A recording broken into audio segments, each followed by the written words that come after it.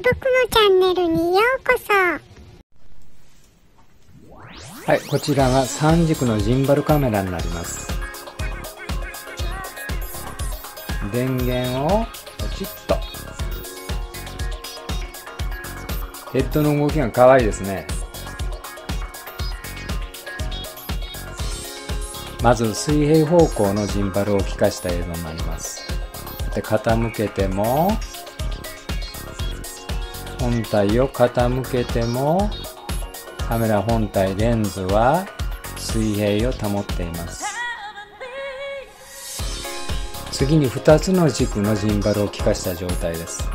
先ほどと同じように水平方向を保ちます。と傾けてもレンズが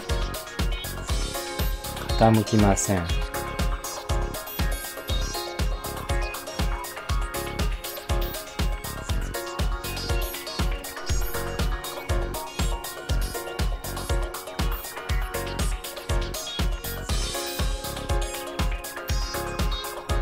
これが3軸すべてのジンバルを効かした設定になります。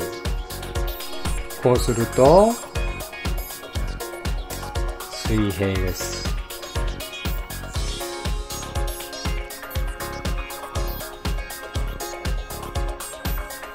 横に回してもずっと前方をキープしています。では外に持ち出して撮影してみます。今から撮影する動画は3軸全てを聞かせた動画になります。ではポチッと。で動かしています。上下にも動かします。左右にも動かします。カメラはずっと前方を捉えています。